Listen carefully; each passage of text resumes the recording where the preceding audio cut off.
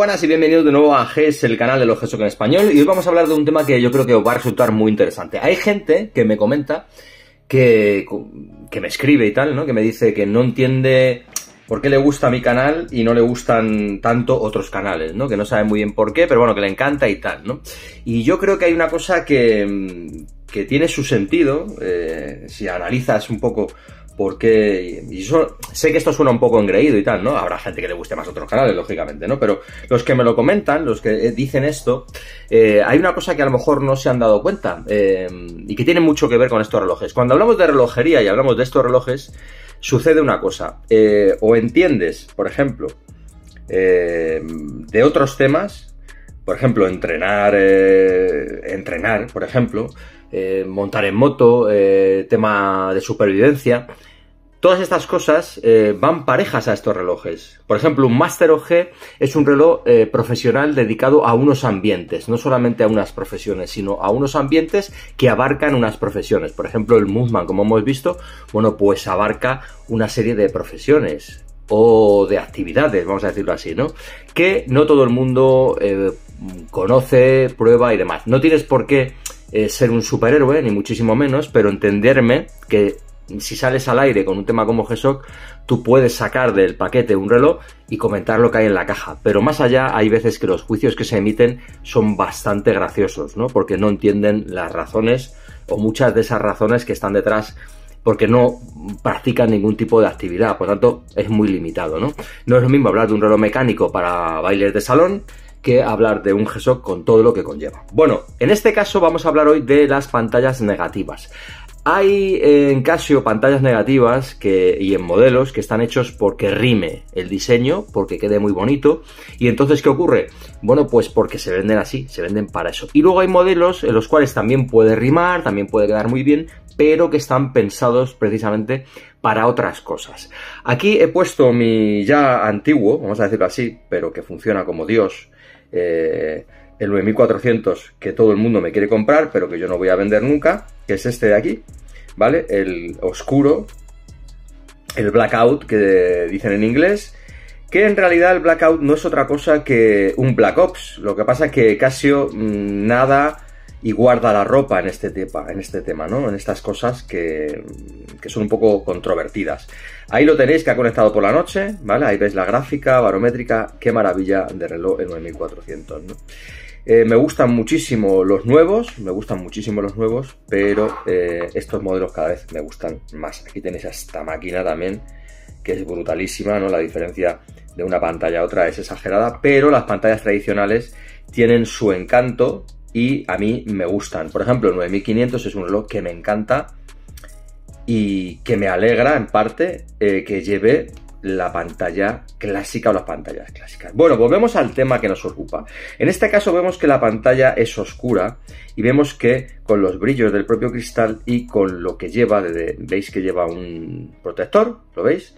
Bueno, pues en este caso ese protector lo que va a hacer es un poco empeorar más la situación. Hay que comprarlo de calidad y puede empeorar un poco esa visibilidad. Pero los profesionales que usan los LCD realmente, que son cuatro, es verdad, pero hay que decirlo, lo utilizan en operaciones oscuras, y nunca mejor dicho. Y esas operaciones oscuras, a veces, uno tiene que ver la hora o ver ciertos datos ¿no? que nos interesen en ese momento y resulta que hay algunos modelos de hoy en día con LED, la mayoría de los relojes, tanto de esta marca como de otras, que son auténticas linternas y eso no es compatible con lo que estamos haciendo es completamente incompatible. Igual que un reloj de buceo que tenga muchísima visibilidad en sus agujas y en los índices, tampoco nos sirve porque se ven muy desde lejos, ¿no? Por ejemplo, los Seiko se ven increíblemente el lume que tienen, pero claro, son relojes de buceo. En este caso, lo que estamos aquí hablando es que la persona no puede eh, ser vista. ¿eh? En, ese, en esas actividades, ¿vale?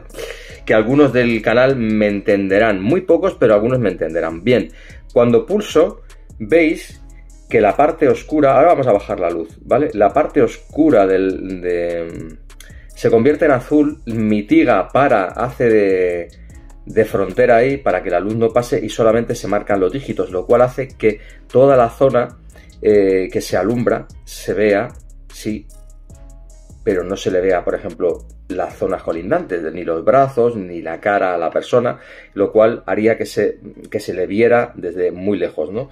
Eso es para lo que están hechas estas pantallas. Para eso es, aunque Casio no lo diga, para lo que están hechos estos relojes. Y en este caso, aquí tenemos el, el controvertido y no entendido eh, GW 9500, que es un modelo que cada día me alucina más, me gusta más. Ya sabéis que tengo la versión de Toyota, se ve increíblemente bien. O sea, digan aquí lo que digan, se ve increíblemente bien y las personas que lo tienen lo saben, que se ve increíblemente bien.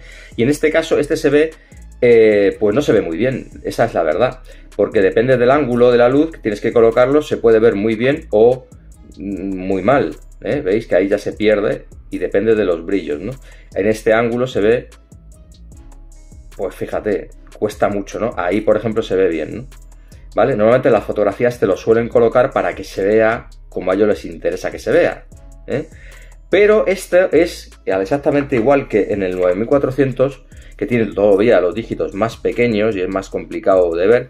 Ambos modelos están diseñados precisamente para personas que están haciendo cositas oscuras y no necesitan eh, mostrarse o no pueden mostrarse a los demás en ciertos momentos. Otra cosa es que a ti te rime el diseño te guste como objeto de moda. Por ejemplo, este en muchas páginas me daba la risa porque se hablaba de objetos de moda, ¿no? Y, eh, en fin, en realidad lo que estás comprando es una herramienta. No entendí muy bien la pantalla oscura, por ejemplo, en el modelo de rescate, en el que tiene los eh, esta parte de aquí de bisel naranja. Ahí, por ejemplo, no lo entendí. Ahí, por ejemplo, sí Casio lo hizo simplemente pensando eh, en el tema de quedar bien de diseño. No lo pensó de forma profesional. Bueno, los Master OG son relojazos así. En este caso, eh, estamos hablando del GW9500 3ER con el 3553. Y quería hablar de él porque me he dado cuenta de varias cosas, aparte de que este LCD, este reloj, esta versión militar, eh, es, una, es una versión que rima con las vestimentas de muchas personas profesionales de ese ambiente y que la pantalla está diseñada precisamente para ese ambiente y para esas necesidades oscuras, ¿vale? Es una herramienta absolutamente alucinante este reloj. Cada día me gusta más. Y voy a decir varias cosas. Primero, yo cuando vi este reloj me pareció una barbaridad, un despropósito, porque era muy bruto. Y yo dije, madre mía, otro reloj de esos que no me voy a poder poner cómodamente. ¿Por qué?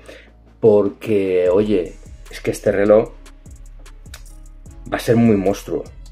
Sin embargo, fijaros qué maravilla que el reloj es bajo de caja, se ajusta perfectamente a la muñeca como ya conocemos y no lo vamos a repetir en este vídeo poniéndolo porque es que ya lo sabemos, se ajusta a la muñeca maravillosamente bien y lo que es mejor al ser bajo de caja, eh, gracias a, pues, al Carbon Core War y a la sofisticación de los módulos, pues resulta que me encuentro con un modelo que me lo puedo poner con ropa más fácilmente, no se engancha cuando estoy trabajando tanto como se enganchan habitualmente modelos incluso como el Rangeman, que son más altos de caja normalmente, ¿vale? Que son más altos de caja, como veis, ¿no? El Carbon Core War juega ahí a favor del modelo. Bueno, pues esto para empezar, una maravilla, el hecho de que sea bajo, el hecho de que se ajusta mi muñeca, no tiene por qué ser incómodo, vale para más medidas, lo cual al fabricante le viene muy bien. Pero además, profesionalmente también es mejor, es decir, no tengo por qué tener un reloj a estas alturas de la existencia, a estas alturas de la sofisticación en materiales, que sea incómodo. O sea, es que no tiene sentido ninguno. ¿eh? Sin embargo, tú lo ves en la muñeca y sigue siendo un portento, un maquinón, eh, un reloj agresivo, un reloj grande, un reloj masivo, ¿no? No ha perdido la personalidad por el mero hecho de ser estrecho. Otra cosa que me ha llamado la atención, que no entiendo de la gente, sinceramente, es cómo hablan de las cosas sin darse un tiempo a ellos mismos y al reloj que les ocupa. Y en este caso estoy hablando del pulsador de la luz, que ellos dicen que el pulsador de la luz, pues que es un pulsador que está mal colocado, que tiene mal ángulo. No, señores, no. señor. Cuando doy la luz al reloj, lo que hago es colocar esta mano en la muñeca. Y con este aprieto el pulsador. Con este aprieto el pulsador, es decir, mi mano viene a la muñeca y presiono justo en la dirección que es la dirección de ángulo que tiene este pulsador. Es decir, los ingenieros que han diseñado este reloj lo tenían muy claro. Ahora, que yo vengo a pulsar así, que vengo a pulsar así con el otro dedito, Bueno, pues en el Mercadona. Miras primero dónde están los yogures de fresa y luego ya pulsas la luz como tú quieras, ¿vale? Aunque tardes un poquito, no te apures que no pasa nada, ¿vale? Bien.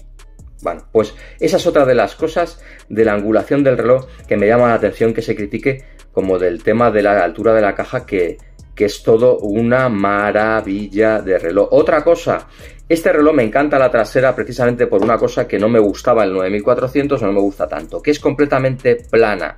Cuanto más plana es la caja, mejor para mí, porque mm, por aquí pasan las cosas, la arena puede pasar el barro y no se quedan ahí y no me molesta porque hay veces que dependiendo eh, las terminaciones puede molestar. En este caso el logo del Moonman, bueno, es que es impresionante. En fin, es, no se puede... Para mí uno de los mejores logos que se han hecho.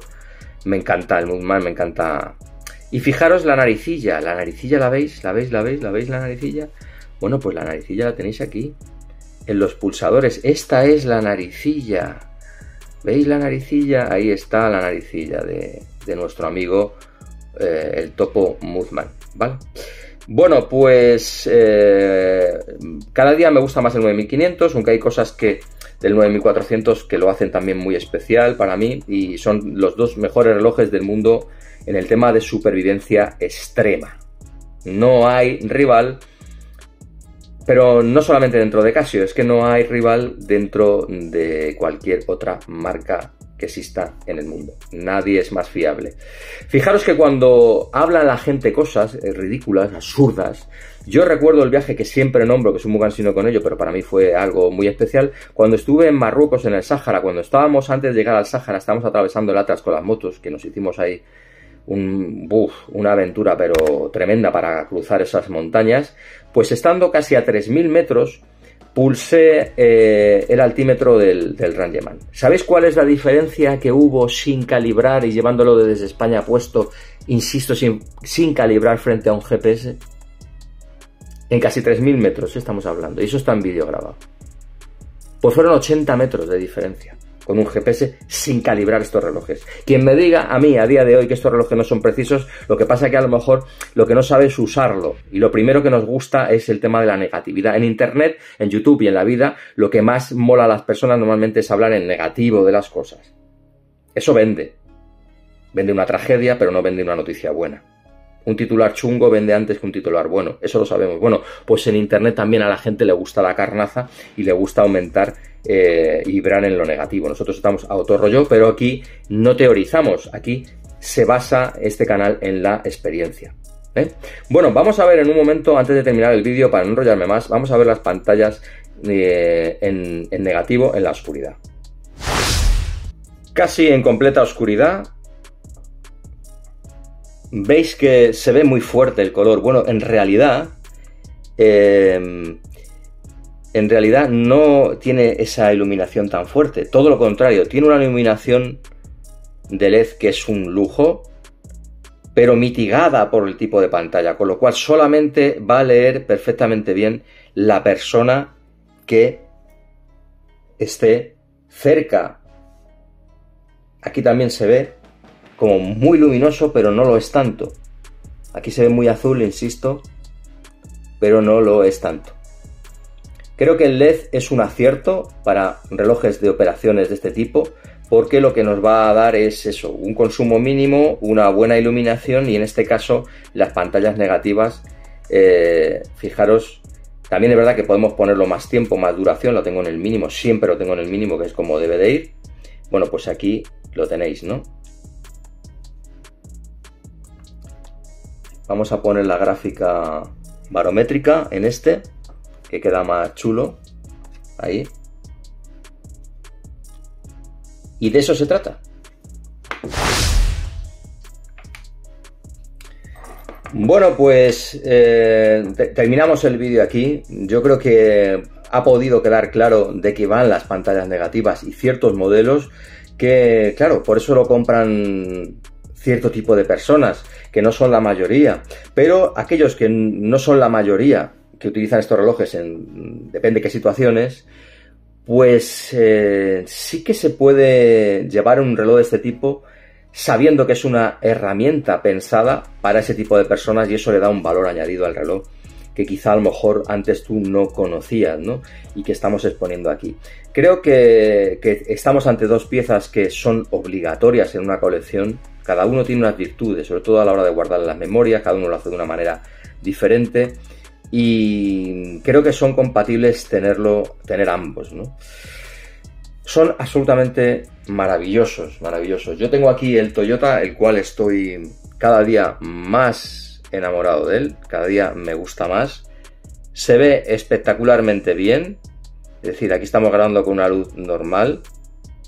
De verdad que cuando giras, bueno, pues al ser doble, pero este se ve perfectamente bien, o sea, me encanta este reloj, cada día me gusta más cómo está diseñado eh, en 9500 como reloj eh, bien deportivo o bien táctico como es este caso. Bueno, yo espero que comentéis, que habléis, que me digáis en este vídeo, porque yo sé que este vídeo os va a motivar. Si os gustan más este tipo de vídeos también y estas reflexiones, pues me lo comentáis, ¿vale? Un abrazo y nos vemos como siempre lo más pronto posible. Thank